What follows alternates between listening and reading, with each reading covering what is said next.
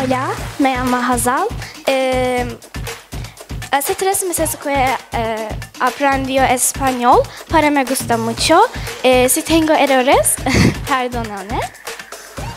Eh, voy a hablar sobre lo que está en el espacio hoy. ¿Cuáles son las cosas que vienen a la mente, de, eh, mente cuando hablamos de espacio? Viaje a la luna, eh, galaxia, sol, agujeros negros, estrellas y muchas otras cosas. Viaje a la luna. Si miras al cielo cuando el clima está despejado, verás brillar la luna. La luna está más cerca de la Tierra que el Sol y otros planetas. Para que la gente pueda ir a la luna. Entre 1969 y 1972, un total de dos astronautas eh, ingresan a la luna.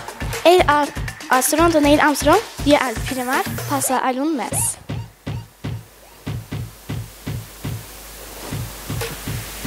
Galaxia.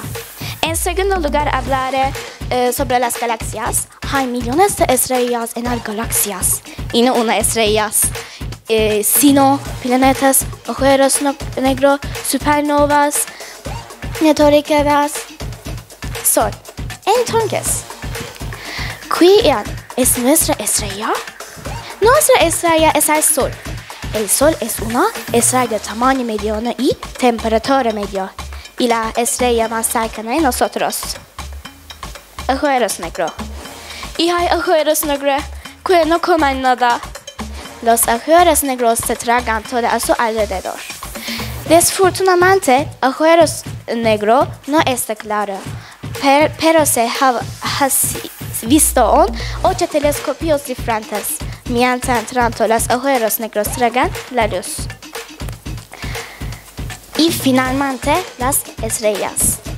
Cuando miramos el cielo nocturno, vemos millones de estrellas. Hay millones de estrellas en el universo que aparecen parpadear. Y cada una es diferente en tamaño temperatura. Mi presentación ha terminado. Gracias por escuchar.